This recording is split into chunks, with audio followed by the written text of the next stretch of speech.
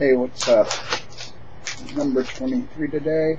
I forgot to do it last week. I didn't forget to do it last week. I was busy, so we're jumping from 21 to 23. Um, I did it. I just didn't have time.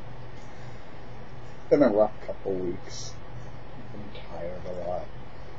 Um, but don't let that discourage you from doing this treatment. It's worth it.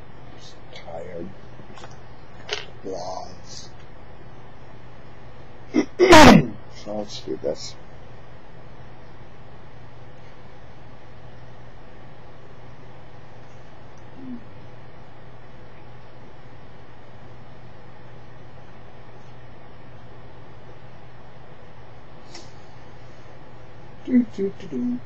Okay, folks. More next time.